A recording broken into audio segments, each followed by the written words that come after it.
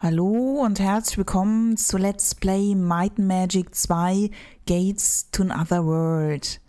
Das Spiel ist aus dem Jahre 1988 und damit das älteste Spiel, was ich je gespielt habe, beziehungsweise ich habe es ja noch nicht gespielt, also das älteste Spiel, was ich ja in absehbarer Zeit jetzt erstmal spielen werde.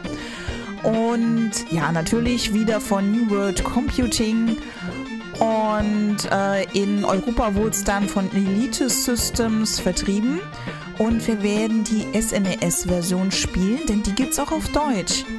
Ich habe lange Zeit gedacht, ich könnte diesen Teil nie mit euch erleben, weil es die DOS-Version nur auf Englisch gibt. Oder zumindest habe ich sie nicht auf Deutsch gefunden, keine Ahnung. Jedenfalls ähm, hat die SNES-Version auch eine schönere Grafik weil SNES damals dem PC noch weit voraus war von der Grafik her, weil es ja auch für Spiele entwickelt wurde.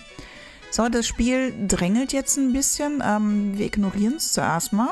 Ich möchte euch schon mal zeigen, was es kann. Aber wir wollen zuerst mal noch einen Blick auf die Geschichte werfen, warum wir hier sind und was gerade vorher passiert ist.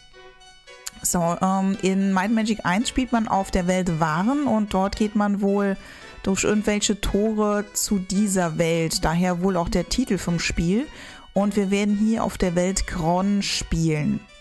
Kron ist ähnlich entstanden wie ähm, Terra aus Might and Magic 3, nämlich dass sich die Lords der Elemente in die Haare gekriegt haben.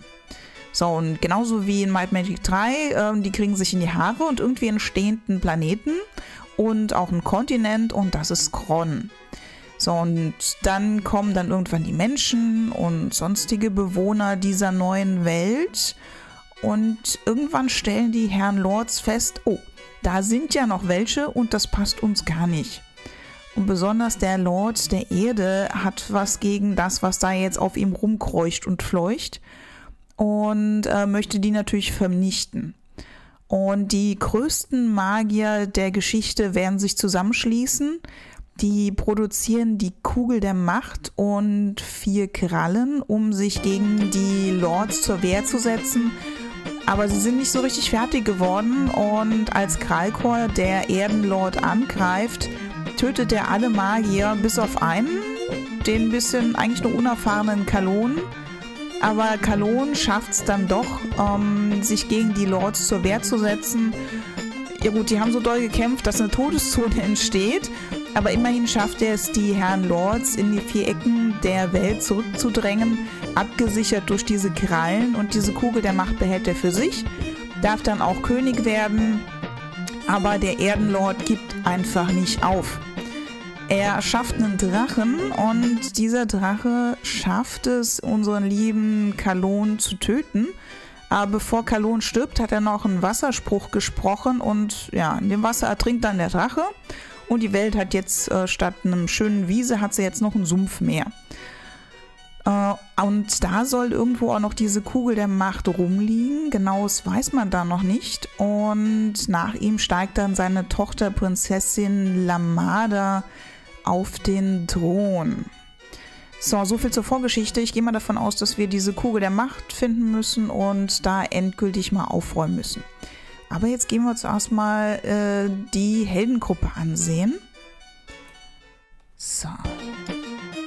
Genau, wir gehen zuerst mal zur Stadt. Dort habe ich schon mal unsere Helden aus, äh, zusammengestellt, denn das funktioniert einfach ähm, Zufallszahlen.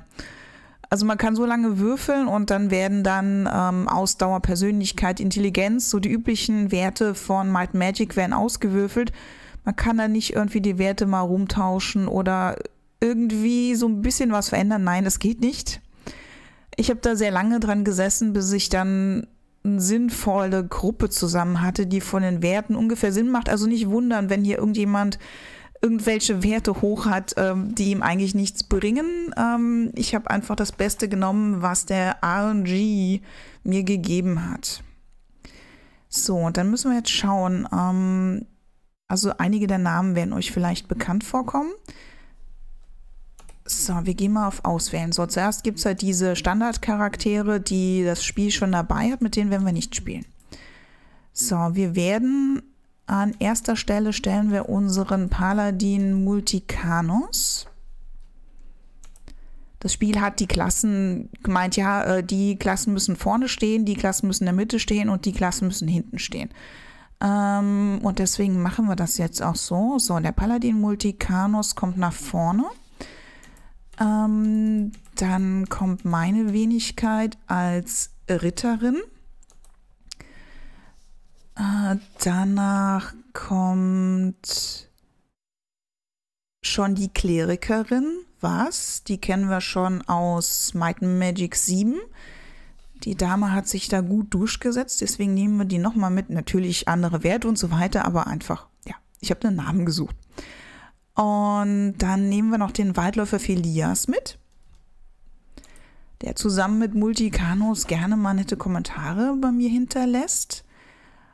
Und dann kommt man, der Magier Bud, auch eine hohe Persönlichkeit aus meinem Let's Play von Might Magic 7. Ein ziemlich durchgeknallter, ziemlich böser Magier. Und Multicanus hat so ihn ein bisschen unter seine Fittiche genommen und ich hoffe, dass er das dann in Form von einem Paladin in diesem Let's Play auch schaffen wird, den bösen Bud etwas zu drosseln. So, und dann nehmen wir noch den lieben Robert mit, der auch schon nette Kommentare bei mir hinterlassen hat. Er wird der Dieb sein und somit auch wohl für das Truhenöffnen, was auch immer, zuständig sein. Wie dir, du springst mir die Gruppe in die Luft. So, dann haben wir die Charaktere mal zusammengesucht und dann gehen wir mal ins Spiel rein. Ich bin total aufgeregt. So, dann schauen wir mal.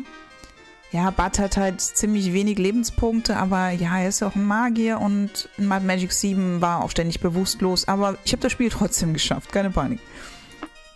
So, der Geist von Korak spricht, lange Abenteuer erwarten euch, Herausforderungen müssen bestanden und Kämpfe gewonnen werden. Habt ihr die Kraft, siegreich zu bestehen?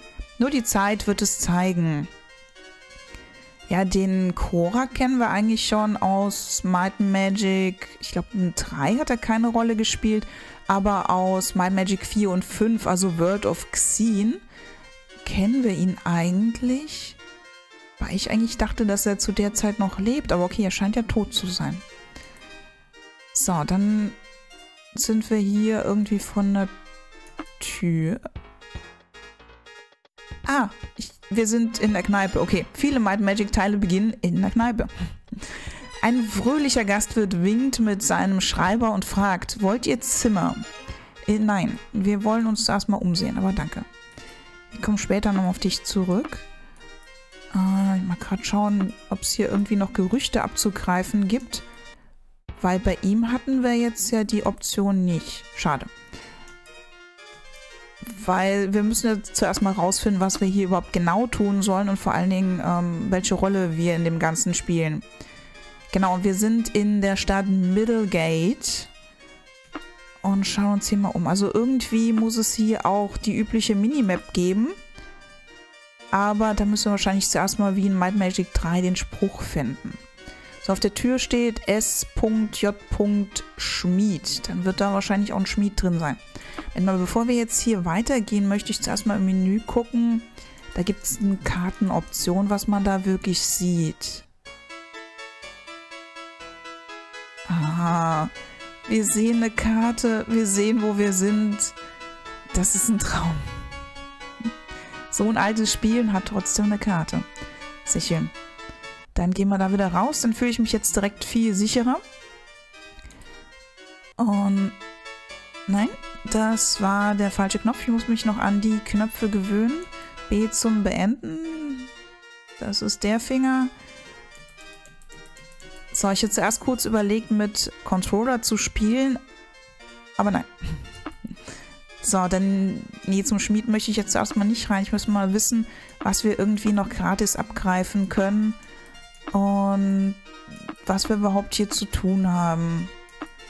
Schauen uns erstmal ein bisschen um, bevor wir in Versuchung geraten, Geld auszugeben. Ich laufe auch mal die Ecken ab, denn bei so alten Spielen sieht man oft nicht, da ist geschlossen, ähm, wo halt wirklich was ist. Dann geht man dann auf ist auch geschlossen, auf irgendein Feld drauf und da steht dann plötzlich, ja, hier ist das und das und denkst, okay, im Spiel habe ich nichts gesehen. Das ist mir bei Lord of the Rings sehr häufig passiert. Nordonna ruft ihn fort, Fremde. Okay, meint ihr das ernst? Ja, man sieht halt niemanden. Das Nichts redet zu einem, aber scheinbar... Ähm, ja, gegen die Wand kann man auch rennen. Okay, vielleicht müssen wir mit Nordonna irgendwie noch Freundschaft schließen oder sie ist einfach ein Charakter, mit dem man nicht sich unterhalten sollte. So, ich glaube, ich habe mich jetzt schon verlaufen, aber egal. Portal des armen Mannes. Hm. Ein Pfadfinder steht vor einem Energiefeld und bietet sofort Reisen nach Sansobar für 10 Gold an Reisen. Nein. Also man kann zwischen den Städten hin und her reisen, ähnlich diesen Spiegeln, die wir aus Might Magic 3 bis 5 kennen. Ähm, nur, dass man hier halt Geld bezahlen muss und vorher hat man ja immer irgendwelche Stichwörter gehabt, wo man dann hinreisen musste. So, auf der Tür steht Schlüssel und Schloss GmbH. Klingt interessant.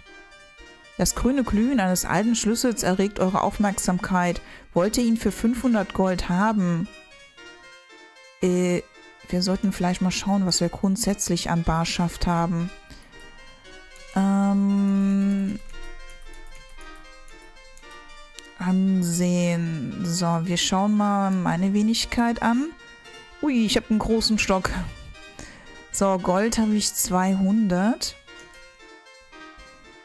Die Klerikerin hat einen Totschläger, das klingt schon mal gefährlicher. Hm, auch 200 Gold oder ist das unser gesamtes Gold? Da bin ich mir jetzt nicht so sicher.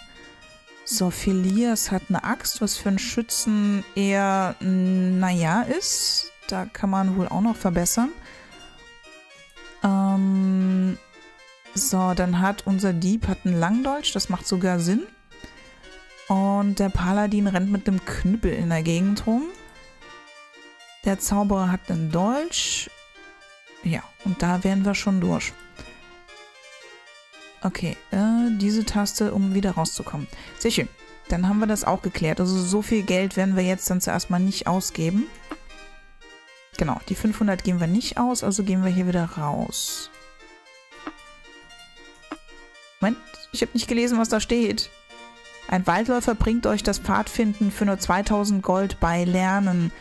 Hm, das ist dann wahrscheinlich genauso, wie wir das auch schon kennen aus den etwas späteren Teilen, dass man den Waldläufer braucht, um durch den Wald durchlaufen zu können. Also da werden wir wahrscheinlich zwei Personen brauchen, die das können. Hier ist scheinbar nix. Wer bist denn du? Der Zauberer gähnt. Freunde, für nur 20 Gold kann ich euch die Ma in die Magiergilde eintragen. Zahlen. Ja, das machen wir auf jeden Fall schon mal. Denn wir wissen ja, dass man immer muss Gildenmitglied sein. Edmunds Expedition, um halt sich Sprüche kaufen zu können. So, Sir Edmund Hillary bringt euch Bergsteigen für nur 2000 Gold bei. Zahlen nein. So viel haben wir auch nicht. Das ist dann auch, um dann wirkliche Gebirge überlaufen zu können. Gibt es ja eigentlich sonst noch irgendwas? Nee. Da müssen wir dann wahrscheinlich auch zwei Leute ausbilden, erfahrungsgemäß. Nee, Pfadfinder waren wir schon. Schlüssel und Schloss GmbH waren wir auch. Jetzt bin ich so froh, wenn wir die Minimap haben. Middlegate Inn waren wir auch. Dann gehen wir mal in die Richtung. Das ist das, was ich gemeint habe. Vom Brunnen der Weissagung trinken, ja oder nein? Seht ihr einen Brunnen? Hm, ich auch nicht. Gut. Aber Brunnen der Weissagung... Ja, ich denke mal, da trinken wir von. Oh, und wir haben eine Minimap. Ich liebe diesen Brunnen. Ich liebe ihn. Ich liebe ihn jetzt schon. Ich liebe ihn jetzt schon. Sehr schön. Schade, dass dann direkt alles aufgedeckt wird und nicht nur das aufgedeckt ist, wo wir schon waren. Ähm, aber egal. Der Zauberer Nordon fragt, wollt ihr mir einen Dienst erweisen? Wenn du uns eine Quest geben möchtest, wäre ich da sogar sehr begeistert von. Zahlreiche Belohnungen gehören euch, wenn ihr einen der magischen goldenen Pokale findet, die von Goblins aus der Höhle unter uns gestohlen wurden. Das, das klingt absolut machbar und es ist ja ja, Might and Magic Tradition, dass man es erstmal im Keller beginnt von der Stadt. Zumindest ähm, in den frühen Teilen. Okay, wir haben eine Quest. Wir haben eine Quest. Wir sollen goldene Kelche finden. Ups. Was stand da? Die Tür steht Skelettschrank. Bitte was? Okay, können wir da irgendwie rein? Moment mal, wir machen mal... Wir könnten die halt einschlagen. Tauschen, verlassen. Mit Schutz sehen wir unsere Buffs. Ähm, Karte hatten wir. Verzögerung habe ich nicht so ganz verstanden, was das soll.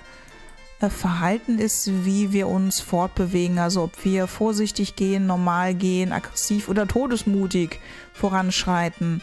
Das lassen wir mal so. So, ansehen ist ja unsere Charaktere. Schauen, was war öffnen?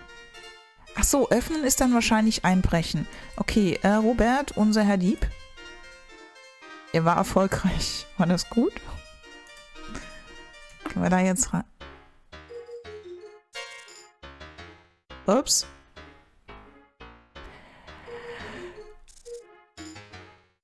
Ähm, ich weiß nicht, ob das so gut war wir sind äh, x plus 10 Skelette und wir sind sechs Leute. Ähm, können wir flüchten?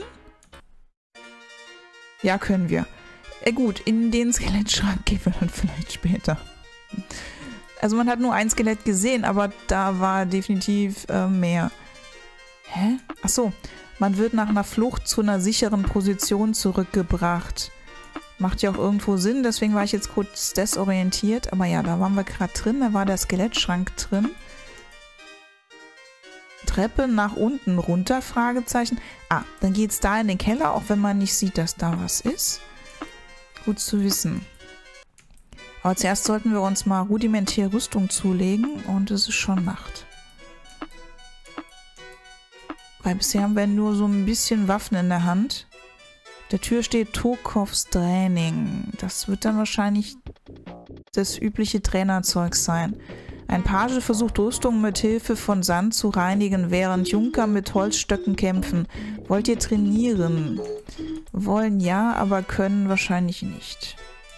Weil wir haben ja noch nichts gemacht. Das braucht noch seine Zeit.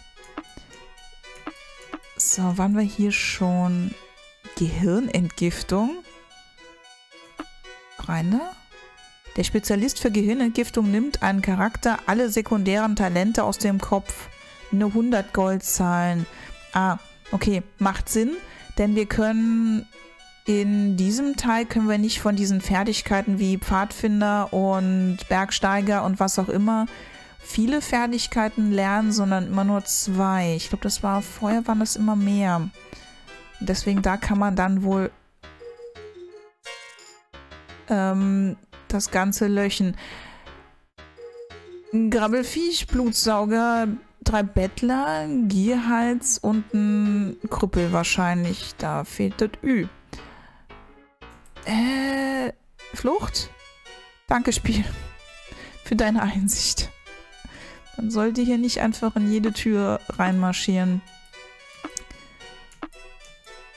Okay, Tokovs Training, da waren wir gerade. Ähm so, was gibt's hier sonst noch? Achso, die Gehirnentgiftung waren wir gerade. Ähm, ich glaube, wir gehen jetzt erstmal Rüstung kaufen, wenn ich wieder finde, wo das ist. Poltergeist, Goblin, Gierhals, Kobold, äh, Flucht. Danke, Spiel. So, der Schmied war doch irgendwo in der Nähe vom Gasthaus. Schmied. Rein da.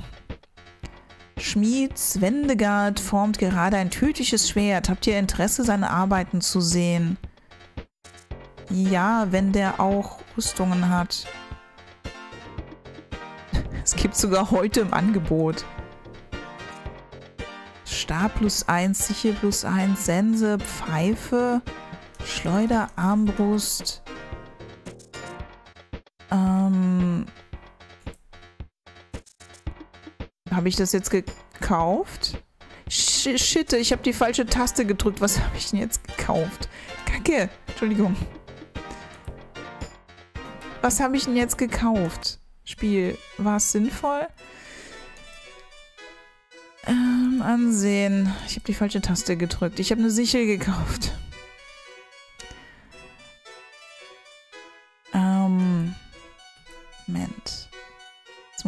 Kurz ausprobieren, wie wir hier anlegen, sammeln, ablegen, teilen, handeln, benutzen, Name.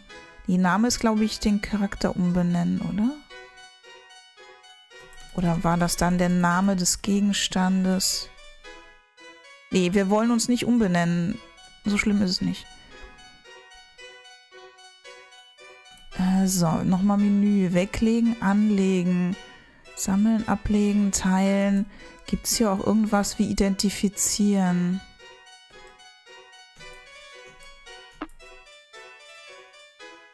In neue Spiele muss man sich zuerst mal reinfinden. So, ja, wir möchten uns dann Zeug ansehen. Ach, er hat auch identifizieren.